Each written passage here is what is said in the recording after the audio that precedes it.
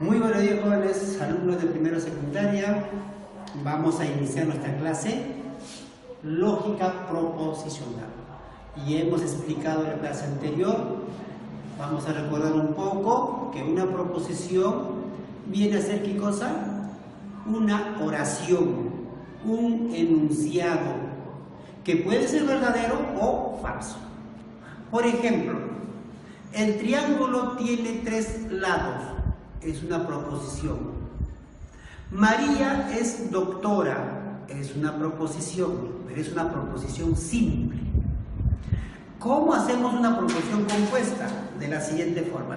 María es doctora, entonces Juan es ingeniero. Hay dos proposiciones. Y las proposiciones vamos a nombrarle con PQ. Si salen dos, PQ. Y si participan tercer, será PQR, así sucesivamente. Entonces vamos a nosotros resolver nuestros ejercicios propuestos. El primero dice escribir a la derecha de cada enunciado si es una proposición simple o es una proposición compuesta.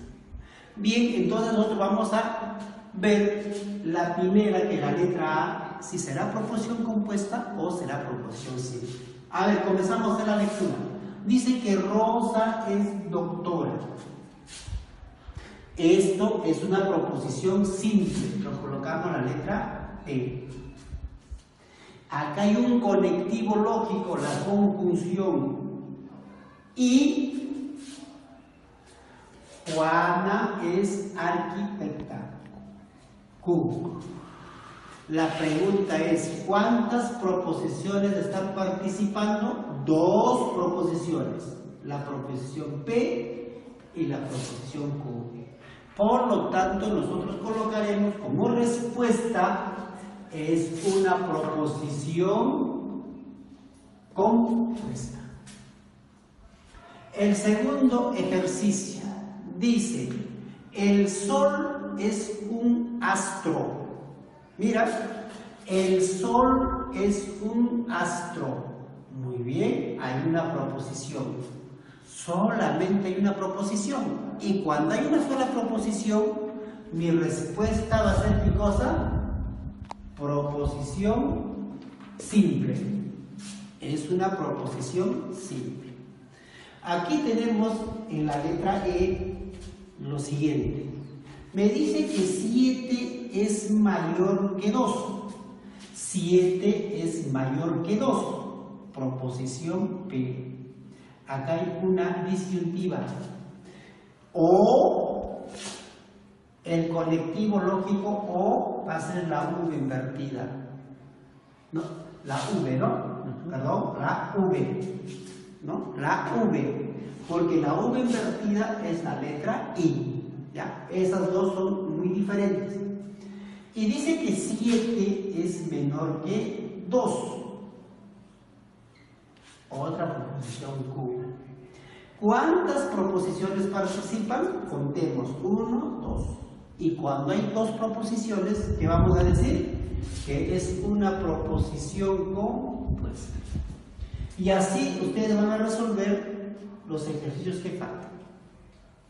El segundo, o el número 2, me dice, colocar verdadero o falso según corresponde a cada uno de los ejercicios que vamos a indicar. para mí, esta proposición que yo voy a leer, ¿será verdadero? Analicemos. El triángulo tiene cuatro lados. Mírame, el triángulo tiene cuatro lados. ¿Qué dice la geometría? Es una figura geométrica. ¿Cuántos lados tiene el triángulo? Tiene tres lados. Entonces, por lo tanto, sí es una proposición, pero esta proposición es falso. Listo. Esa proposición es falso. El otro dice, el mono es mamífero. Entonces yo pregunto, ¿el mono será mamífero? Sí. El mono sí es mamífero. Porque mama, ¿verdad? Entonces, por lo tanto, esta proposición es verdadera. Y así ustedes van a seguir colocando sus ejercicios. Pasamos a la tercera. En la tercera me dice, ¿cuál es el valor de la verdad de la proposición compuesta? Entonces yo voy a colocar aquí, mi primera proposición va a ser P. El conectivo lógico, entonces. Y la siguiente proposición va a ser Q. Entonces dice, ¿esta proposición será verdadera? A ver, 4 más 8, 12. Si es, esta proposición es verdadero. ¿Esta proposición será verdadero o falso? Vamos a ver, 9 menor que 16 o 16 mayor que 9. También es verdadero. Y de aquí me sale, de aquí me sale la respuesta este se va a llamar matriz principal. Dice, esta es la condicional. El alumno que se va a recordar, si el primer elemento es verdadero y el segundo elemento es falso, mira, si el primer elemento es verdadero, el segundo elemento es falso, la respuesta será falso. Si no encuentro esto, automáticamente mi respuesta va a ser verdadera. A ver, verdadero, verdadero, y no coincide. Entonces, por lo tanto, es verdadero. Entonces, yo puedo analizar, ¿esta persona es verdadero? Sí. ¿Esta persona es verdadero? Y por lo tanto, entonces, todo este enunciado será verdadero. Ya. Seguimos resolviendo la número 4. Es similar a la número 3. Dice, determina el valor de la verdad de la siguiente proposición. Aquí tenemos una proposición. La proposición P. La pregunta es, ¿esta proposición será verdadera o falsa? A ver, 9 por 6 es 54. Me da con el 5. Por lo tanto, esta proposición es falso. Aquí tenemos el conectivo lógico, la condicional. Y me dice que 6 es divisor de 38. Vamos a la división, 38 entre 6, 6 por 6, 36, me quedan 2. Es una división inexacta. Por lo tanto, esta proposición le vamos a colocar con Q, pero la pregunta es, ¿será verdadero o falso? Va a ser falso. Ahora, de estos dos vamos a tabular y vamos a buscar la tabla de la verdad. ¿Cómo se llama? Matriz principal. ¿Qué dice la matriz principal? Si la primera es verdadero, ponemos acá, si la primera es verdadero y la segunda es falso, mi respuesta va a ser falso. Si no encuentro esta respuesta, será verdadero.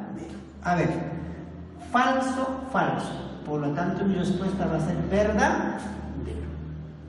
Verdadero. Pasamos al, siguiente enunciado. Por ejemplo, acá en la 8 ya no es la pregunta como me dice, pero acá ya me dan datos. Si P es verdadero y Q es falso, mi matriz principal, mi respuesta de la condicional, ¿qué va a ser? Dice, si la primera es verdadero la segunda es falso, mi respuesta será falso. La primera es verdadera, la segunda es falso, mi respuesta será falso. Número 9, similar que el anterior, ¿no es cierto? Dice, si P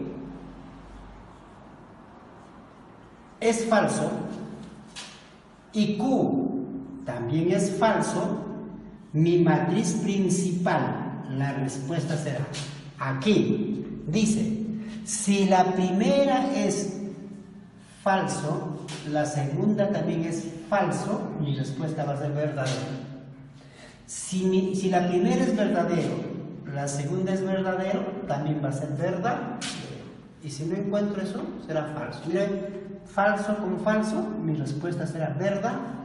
Así vamos a seguir resolviendo los ejercicios.